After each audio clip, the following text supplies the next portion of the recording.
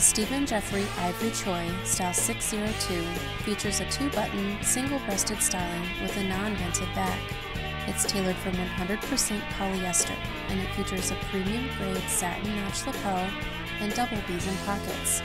The Ivory Troy includes pleated formal trousers in either ivory or black. It's shown here with a Synergy full back vest, diamond Windsor tie, and ivory microfiber shirt.